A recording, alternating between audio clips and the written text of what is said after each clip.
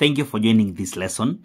We're going to continue with mathematics revision, the Maranda mock, whereby we are going to handle a logarithm question, and it is in number two of this paper, whereby we are told that uh, solve for x in the logarithm of 3x minus 2 to base 5 plus the logarithm of 2x minus 1 to base 5 equals to 0 without mathematical tables or calculator.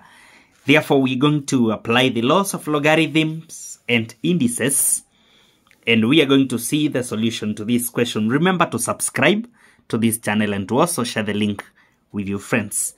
So, because we have a plus here, we shall employ the law which says that when we have the logarithm of a plus the logarithm of b, this one will be solved by having the logarithm a multiplied by b, which means for the left hand side of the equation, then we shall have the logarithm to base 5 of 3x minus 2 multiplied by 2x minus 1.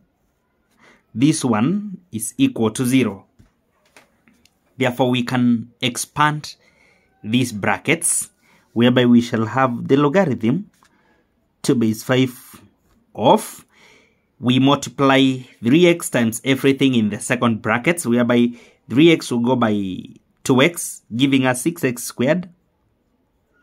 Then 3x by negative 1 and negative 2 by 2x that will give us negative 7x then positive 2 equals to 0. It is good we sort the right hand side of the equation before we continue very much and we are going to sort it by introducing the logarithm to base 5 at that side and we should remember that there is a law of logarithm which says that the logarithm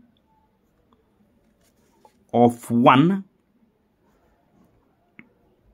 to any base any base we can give it base a should be equal to 0 the logarithm to any base of 1 should be equal to 0 this one is true because in case we change the expression from being in logarithm form to index notation then we shall agree that we can have a raised to 0 to give us the number we have here.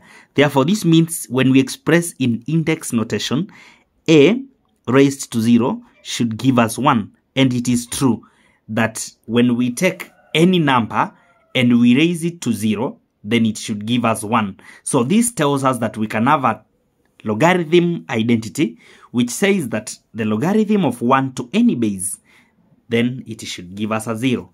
Therefore here, we can equate 0 to the logarithm of 1 to base 5. Therefore, we can now rewrite the equation by saying the logarithm to base 5 of 6x squared minus 7x positive 2 equals to, this one we can close the brackets, equals to the logarithm to base 5 of 1.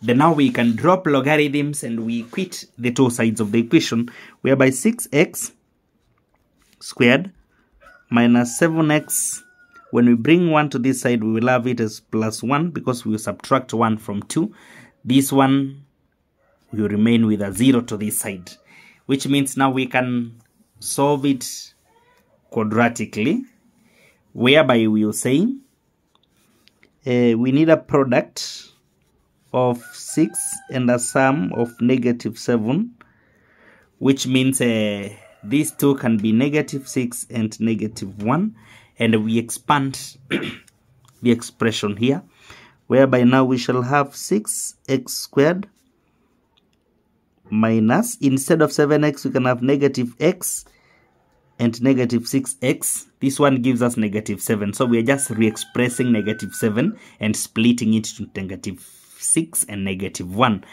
positive 1 equals to 0 so when we open or we factorize in every two terms. We will find in the first case we have 6x being common. So we will remain with x minus 1. Then positive, positive 1.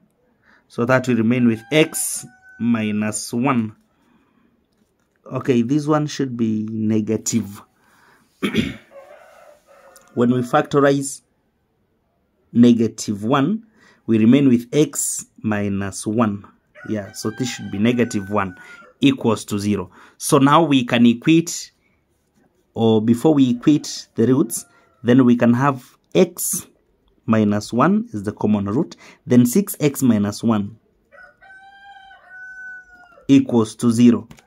So that now we can agree that each root can be equated to 0 separately, whereby we'll have x s1 or x s 1 out of 6 x is 1 out of 6 so that is how we solve this kind of a logarithm equation. Thank you for following.